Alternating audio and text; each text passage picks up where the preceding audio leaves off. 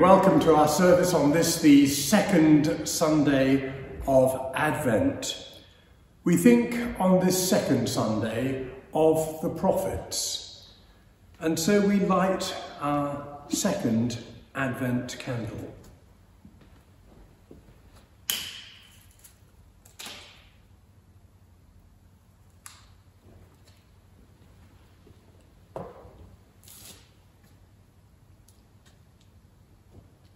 And so we pray. Lord Jesus, light of the world, the prophets said you would bring peace and save your people in trouble. Give peace in our hearts at Christmas and show all the world God's love. Amen.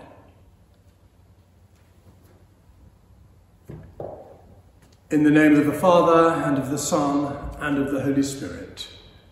Amen. The Lord be with you. Let us pray. Lord, direct our thoughts and teach us to pray. Lift our hearts to worship you in spirit and in truth. Through Jesus Christ our Lord. Amen. We come to God as one from whom no secrets are hidden, to ask for his forgiveness and peace.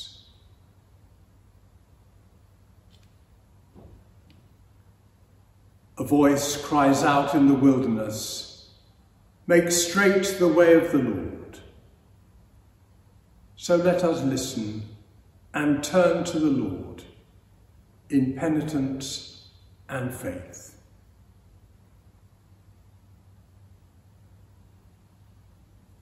Turn to us again, O God our Saviour, and let your anger cease from us. Lord, have mercy. Show us your compassion, O Lord, and grant us your salvation. Christ, have mercy. Your salvation is near for those that fear you that glory may dwell in our land. Lord, have mercy. Lord, have mercy. Almighty God, have mercy upon you, forgive you your sins, and bring you to everlasting life. Amen.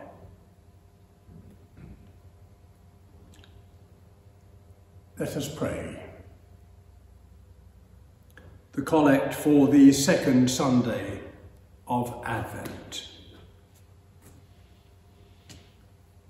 O Lord, raise up, we pray, your power and come among us, and with great might succour us, that whereas through our sins and wickedness we are grievously hindered in running the race that is set before us, your bountiful grace and mercy may speedily help and deliver us. Through Jesus Christ, your Son, our Lord, to whom with you and the Holy Spirit be honour and glory, now and forever. Amen. We hear our first reading from the book of the prophet Isaiah. Comfort, O comfort my people, says your God. Speak to Jerusalem tenderly, and cry to her that she has served her term, that her penalty is paid, that she has received from the Lord's hands double for her sins. A voice cries out, In the wilderness prepare the way of the Lord, make straight in the desert a highway for our God. Every valley shall be lifted up, and every mountain and hill shall be made low. The uneven ground shall become level, and the rough places a plain. Then the glory of the Lord shall be revealed, and all people shall see it together, for the mouth of the Lord has spoken. Here ends the first reading. The Holy Gospel is written in the first chapter of the Gospel according to Mark, beginning at the first verse. The beginning of the good news of Jesus Christ, the Son of God. As it is written in the prophet Isaiah, See, I am sending my messenger ahead of you, who will prepare your way. The voice of one crying in the wilderness, Prepare the way of the Lord, make his path straight. John the baptizer appeared in the wilderness, proclaiming a baptism of repentance for the forgiveness of sins. And the people from the whole Judean countryside and all the people of Jerusalem were going out to him and were baptized by him in the river Jordan, confessing their sins. Now John was clothed with camel's hair, with a leather belt around his waist, and he ate locusts and wild honey. He proclaimed, The one who is more powerful than I is coming after me. I am not worthy to stoop down and untie the thong of his sandals. I have baptized you with water, but he will baptize you with the Holy Spirit. This is the gospel of the Lord.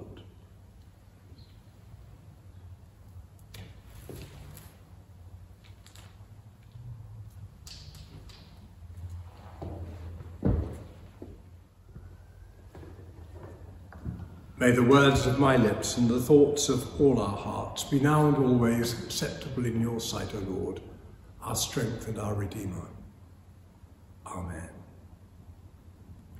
On this second Sunday of Advent, we have lit our second Advent candle as we remember the prophets of old. Today we encounter two voices crying out from the wilderness.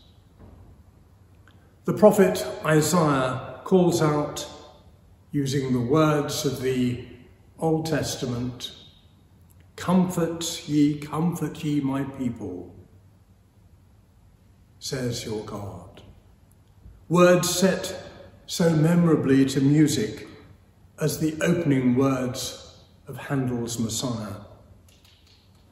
Then in Mark's Gospel, John the Baptist shouts, Prepare the way of the Lord.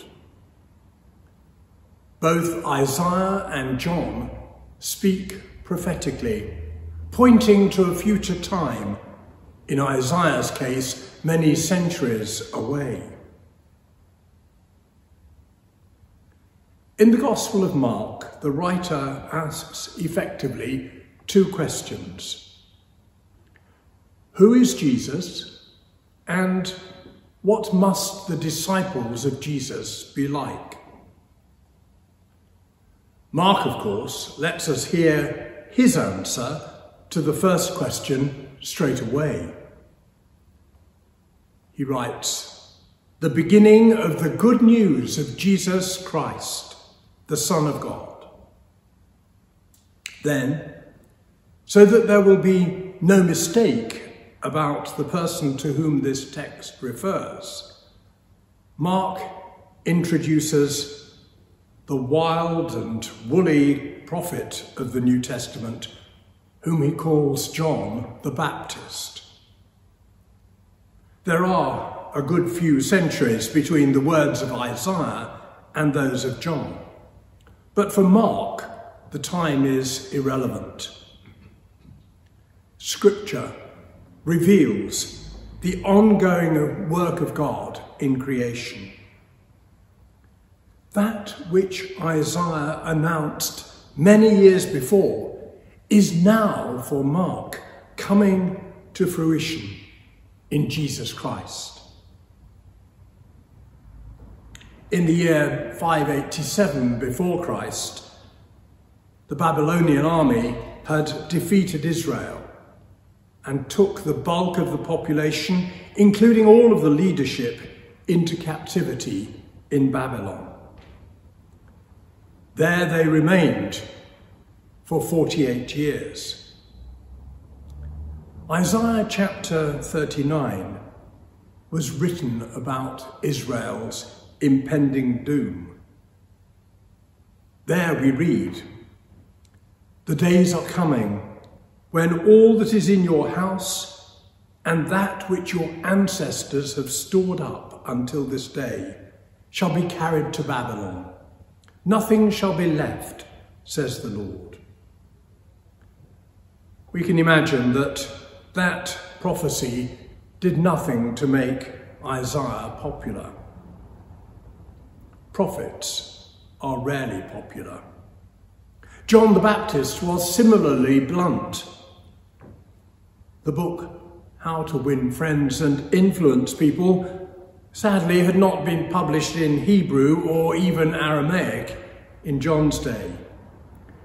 In the New Testament, we read of John referring to the Pharisees as you brood of vipers, and saying to them, Who warned you to flee from the wrath that is to come?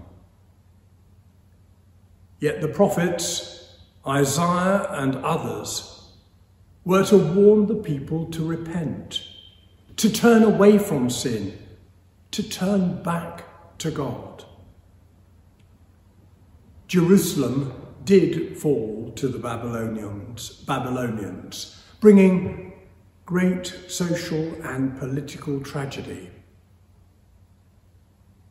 How do we know if God loves and cares for us if we see all that we care about crumbling around us?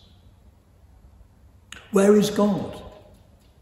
They may have asked in such a, in such a situation.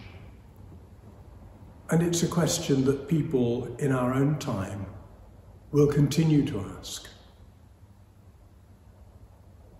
Isaiah 40 comes into the crushing reality of defeat with a very different word from God.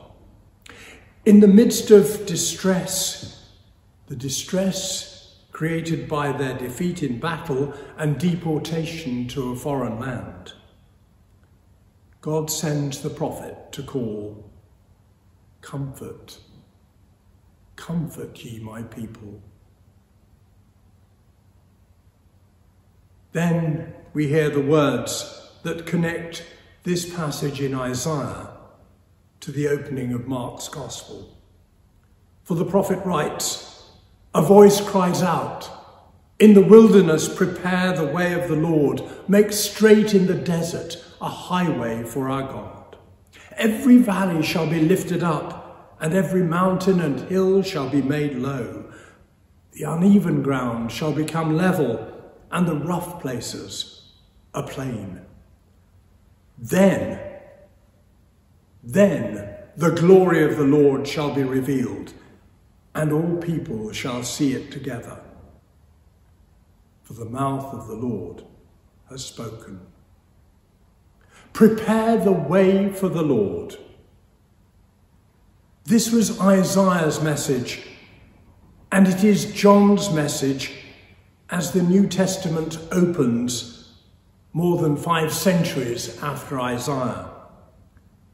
And it is our message today in this time of Advent, when we think especially not of the coming of Christ at Christmas but of his second coming.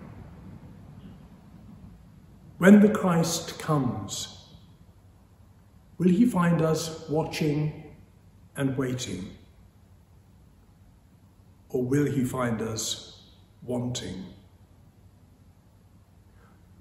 On this, the second Sunday of Advent, we may ask ourselves, what are we doing to prepare the way of the Lord, so that others, through our words and through our example, may come to know Jesus in their hearts and in their lives.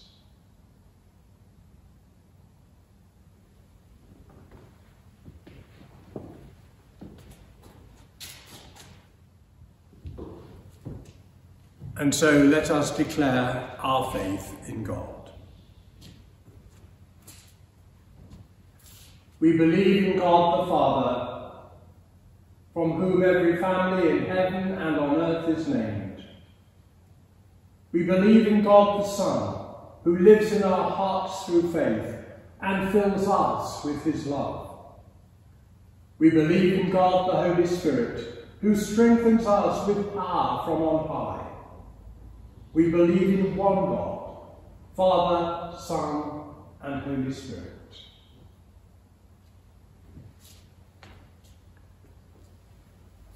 And so let us turn to God in prayer.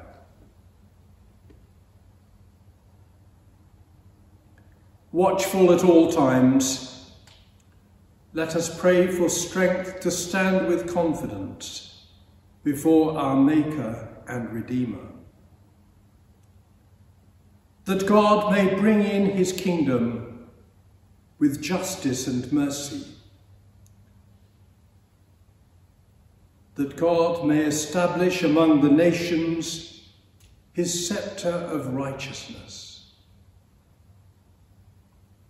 that we may seek Christ in the scriptures and recognize him in the breaking of bread.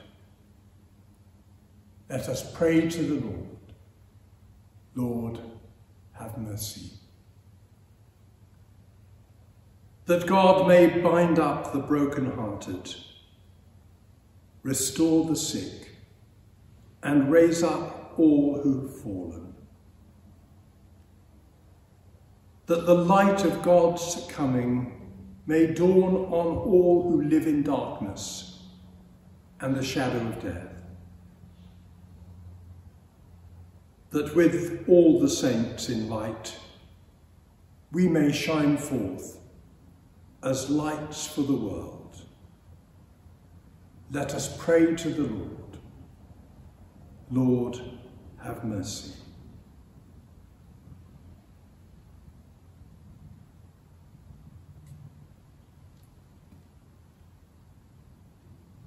We commend ourselves and all for whom we pray to the mercy and protection of our Heavenly Father, this day and always. Amen.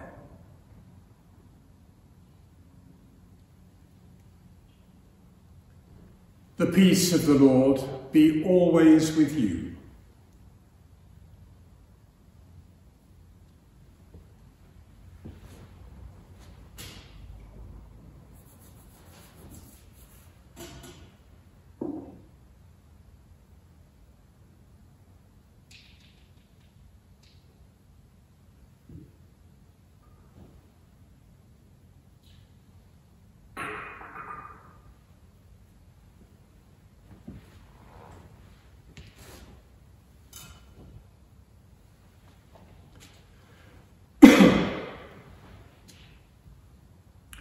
Lord, we offer you these gifts, this bread and this wine, the fruits of your creation, the labours of our hands. We offer them to you, that they may be for us the body and blood of Christ. Blessed be God forever.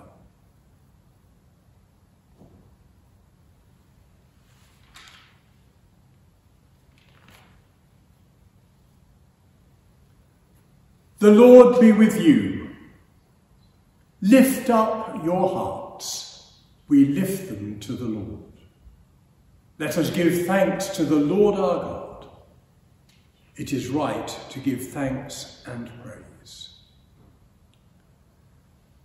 Father, you made the world and love your creation. You gave your Son, Jesus Christ, to be our Saviour. His dying and rising have set us free from sin and death.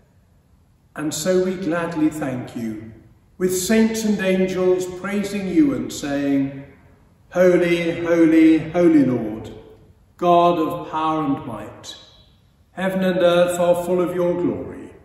Hosanna in the highest. Blessed is he who comes in the name of the Lord. Hosanna in the highest. We praise and bless you, loving Father, through Jesus Christ our Lord. And as we obey his command, Send your Holy Spirit that broken bread and wine outpoured may be for us the body and blood of your dear Son. On the night before he died, he had supper with his friends, and taking bread, he praised you. He broke the bread, gave it to them, and said, Take, eat. This is my body, which is given for you. Do this in remembrance of me.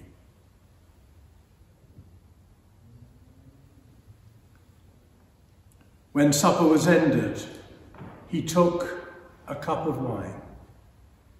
Again he praised you, gave it to them and said, Drink this, all of you. This is my blood of the new covenant, which is shed for you and for many for the forgiveness of sins. Do this as often as you drink it, in remembrance of me.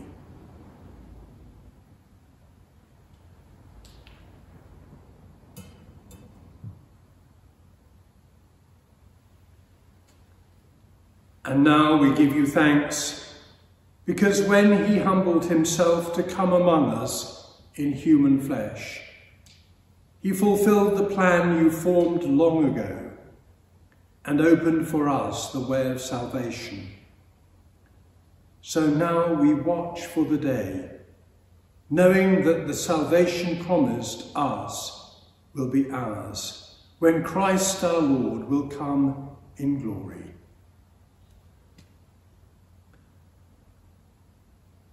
Praise to you, Lord Jesus Christ. Dying, you destroyed our death. Rising, you restored our life.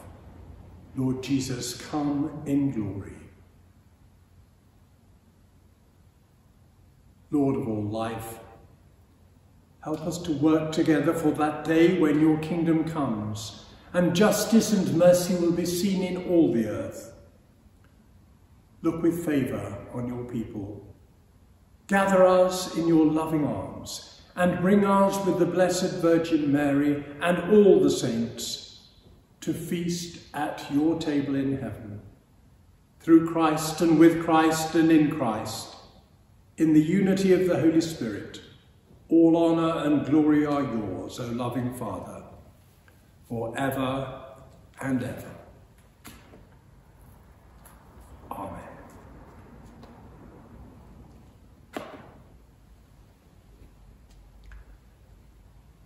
Let us pray with confidence, as our Saviour has taught us. Our Father, who art in heaven, hallowed be thy name. Thy kingdom come, thy will be done, on earth as it is in heaven. Give us this day our daily bread, and forgive us our trespasses, as we forgive those who trespass against us Lead us not into temptation, but deliver us from evil. For thine is the kingdom, the power and the glory, for ever and ever. Amen.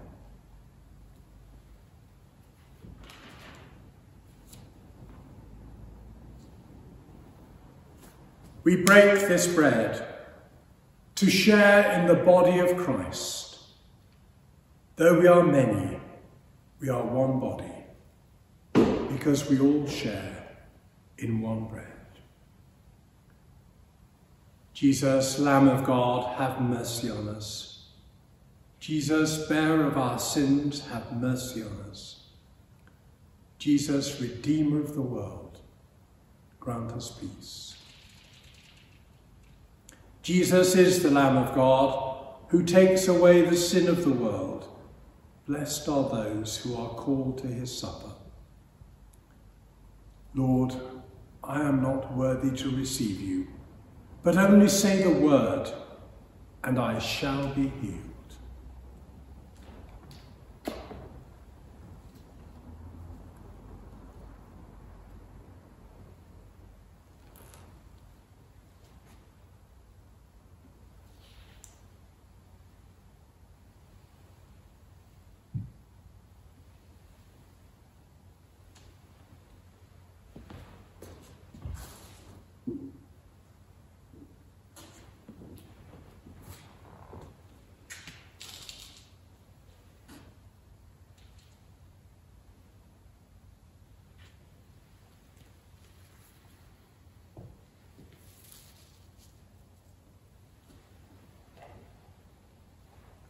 And so let us pray.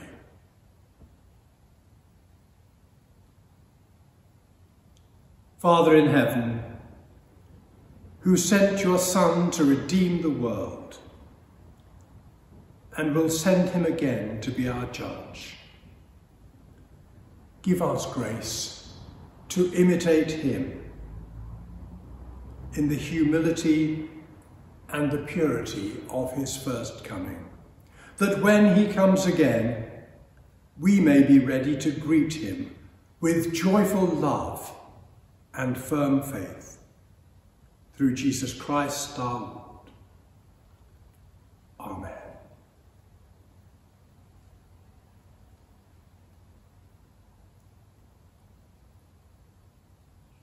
May God himself, the God of peace, make you perfect and holy, and keep you safe and blameless in spirit, soul, and body, for the coming of our Lord Jesus Christ. And the blessing of God Almighty, the Father, the Son, and the Holy Spirit, be upon you and upon all for whom you pray, this day and always.